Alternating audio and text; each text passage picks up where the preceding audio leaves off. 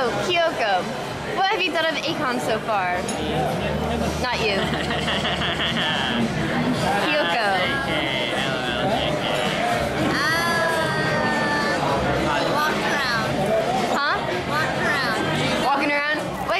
about it though? Is it fun? Boring? Weird?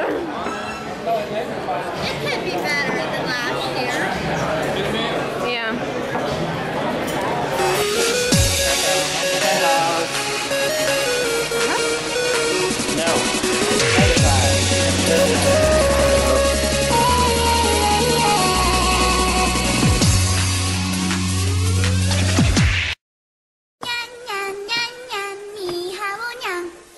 スベリシャスデカルチャー